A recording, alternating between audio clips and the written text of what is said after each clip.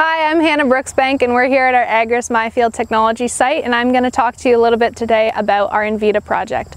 Our Envita project is through our Ag Validity program and it is a new to the market biostimulant. It's a biological bacterium that allows the plants to fix their own atmospheric nitrogen. Our project consists of two separate sections, one of which is a nitrogen rate trial and the other is a side-by-side -side trial. Our nitrogen rate trial is all on farm in the growers fields. Now this is our corn project. So we are looking at variable nitrogen rates across different farms in southwestern Ontario for corn specifically that range from 80 pounds of actual N all the way up to 260 pounds of actual N and we want to see how this product performs under these different circumstances. Our side-by-side -side trial also consists of soybeans so it is soybeans and corn and they're both strip trials in the grower's field on their farm.